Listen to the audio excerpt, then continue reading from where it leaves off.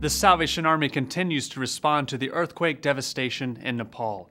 This week, a shipment of 1,000 tents arrived from Pakistan just in time for distribution before the worst of the monsoon rains arrive.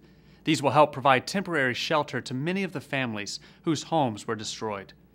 Six camps are being managed by the Salvation Army in the Kathmandu Valley, ensuring the safety of residents before they return to their home communities.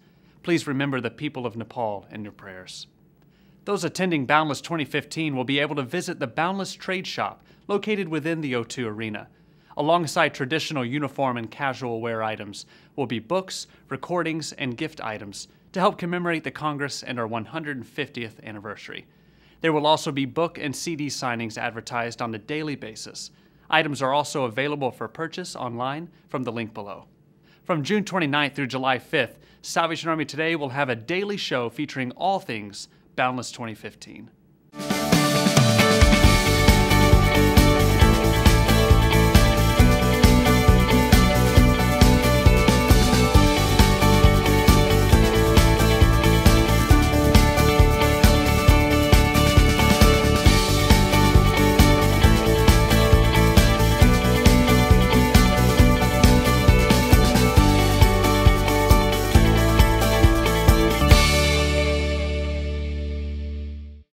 In closing, we hear from the book of Romans.